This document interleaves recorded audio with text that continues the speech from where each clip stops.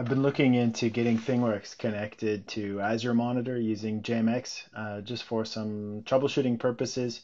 And in the process, uh, I've stumbled across this Java agent, and uh, we're just going to have a quick look at what can maybe happen if we connect the um, Application Insights Java agent to um, to the ThingWorx environment JVMs. And uh, so we can start to look at some of the requests that are coming in, see some of the data that's coming in directly in Azure.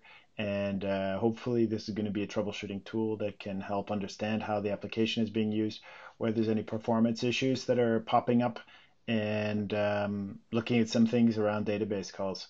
So I'm just um, discovering this myself, um, but let's have a quick look at what I've set up so far, and we'll kind of go through the process of trying to get some of the other components in the environment set up and connected.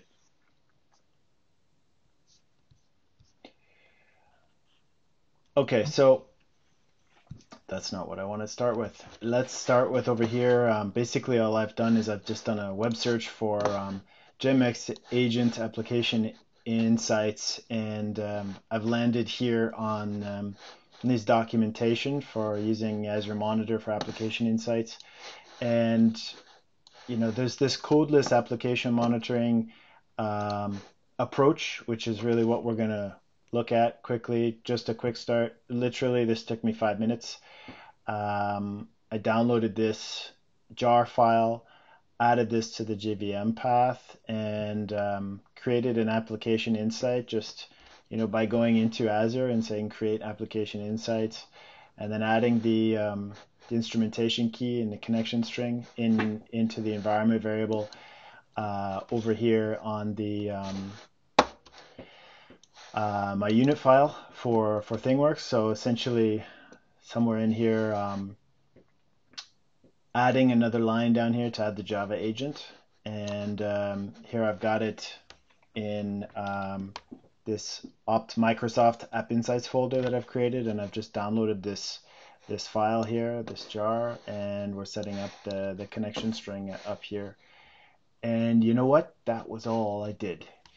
Um, so one of the other things that I will look at later that I'm not going to do just yet is custom metrics uh, from JMX. So, you know, this is obviously from a troubleshooting perspective um, in in ThingWorx. Quite interesting to be able to leverage the um, MBeans collections um, from the JVM because we can look at things like uh, garbage collection, um, statistics, as well as even getting into like DB connection, uh, numbers of D- DB connections, and how they're being used.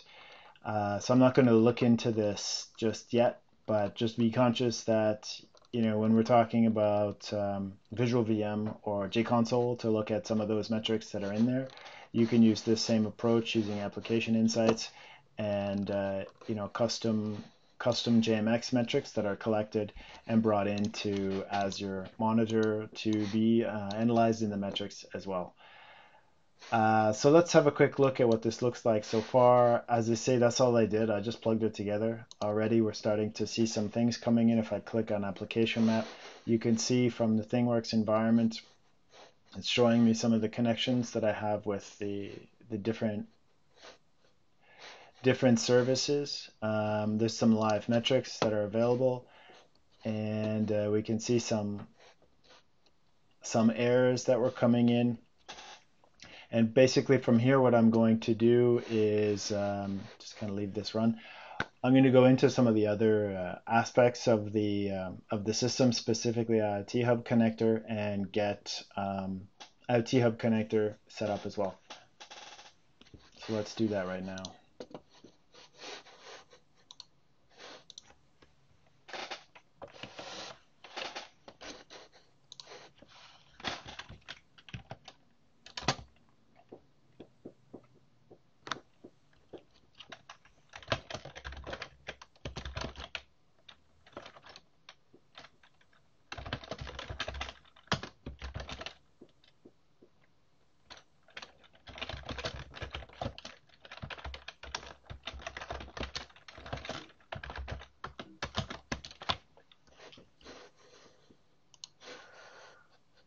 so we're going to go get this file.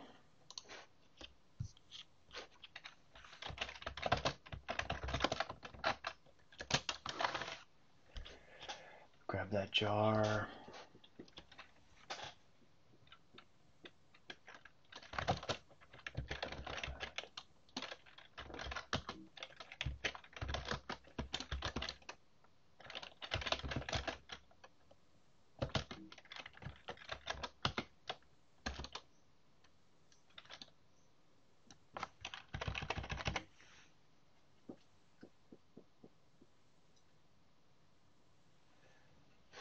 So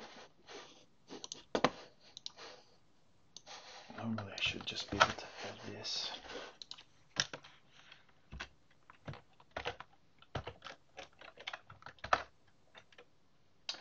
Add the Java agent to the end of the Java ops based on where I put it.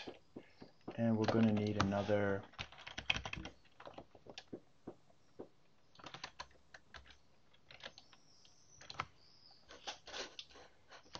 application insights.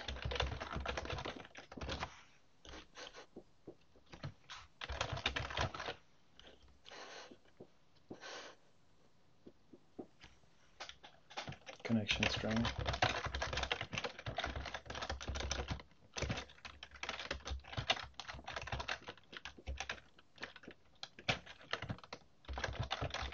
Instrumentation key. Now this is obviously available over here, if we look on the application insights on the overview, we see the connection string is going to be right here. You can just copy and paste this in.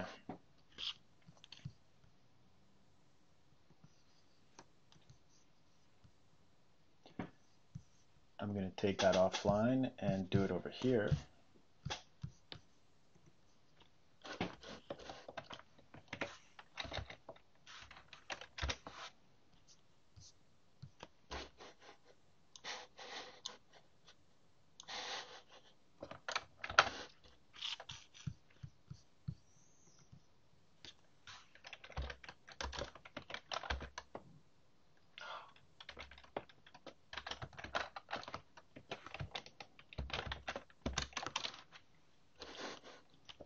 Okay, so let's bring that back over here.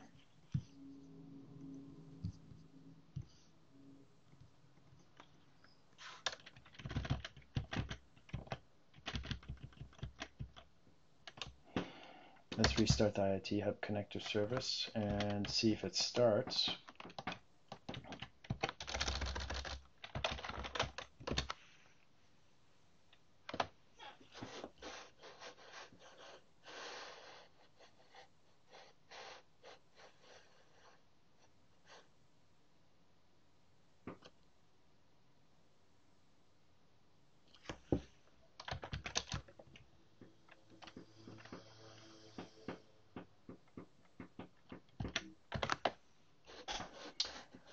Okay, so it seems to be running.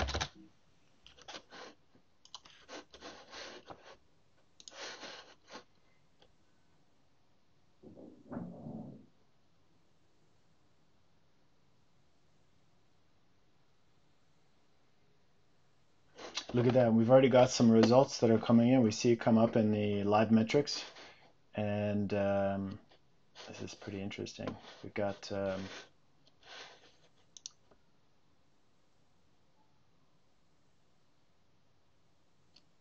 There you go. We've got CP, CPU details. We saw some exceptions that were coming up earlier. Looks uh, like these are on the ThingWorx side. And if we come up with the application map, we normally should see the two of them talking together, I guess.